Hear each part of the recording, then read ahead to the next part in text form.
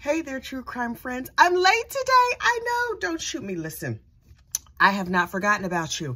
I have so many appointments today and I'm on the run in about two seconds. But I just wanted to drop in to say, I didn't forget about you. How could I forget about you? But there's no new case right now.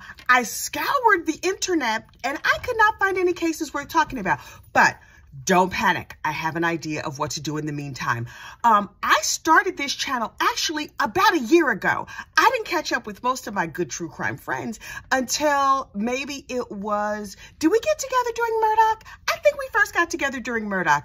Um, when Murdaugh first initially lost his mind and then as the cases went on. So in the meantime, I've been talking for a long time. I mean, I've been talking for years, but I've been talking on YouTube for a very long time. So what I'm going to encourage you to do is go check out some of those old cases. Now, before I broke them down into different playlists, they were all just in a in a playlist called Court TV or etc.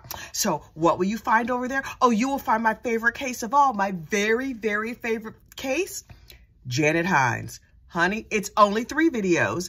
Um, her her daughter-in-law, Melissa Hines. Oh, what is that? Her daughter-in-law, Melissa, a star. Melissa didn't know she was a star. Melissa Hines over there in Tennessee. Oh, Melissa is a star. She was on all the case, but so go over to the court TV feed. You can check out um, Janet Hines and her daughter-in-law, Melissa. Um, ooh, Andrew McCauley. Now, that is a seven or eight part case. But here's the crazy thing about that one. I literally had maybe a hundred followers and I was just running my mouth on here talking about the case because I needed to talk about it. I could not not talk about it. And so every single day I would watch the case. I think there's like eight or nine um, days of that case. Every day I would watch the case and I would make the video wherever I was. Sometimes I'm in my backyard. Sometimes I was on my morning walk. Whatever I was doing, I would stop and I would make a little recording about Andrew McCauley literally shouting into the void. And um, the prosecutor, oh, he was cute, down there in uh, Berkeley Springs, West Virginia, saw my video and reached out to me. And I was like, Three people watch this channel. Turns out one of the three was uh the that prosecutee down there in Berkeley Springs. My mind was blown. Anyway, so you can follow the case of um West Virginia versus McCauley and see what the prosecutor had to say about my coverage of him on the case. And then there's a bunch of random stuff. Once upon a time, I had a baby on that show, um, A Baby Story. That's down there someplace. I don't even know. It's definitely on this page. I don't remember what it's called.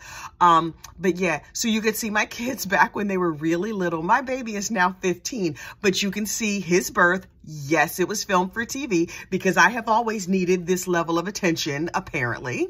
Uh, what else is there? Oh, and the time that uh, me and a good friend of mine won $30,000 on Celebrity Who Wants to Be a Millionaire because you know I could never do regular Who Wants to Be a Millionaire. Oh, I had to get a free all expenses paid trip to Las Vegas to do Celebrity who wants to be a millionaire. Go watch and comment on those videos so I know which ones you saw. Okay, you guys, have a great day. And um, I'll be back tomorrow. I'm sure by then something will have happened somewhere and I will have something to say about it because I always have something to say about, well, everything. You have a great day. Bye.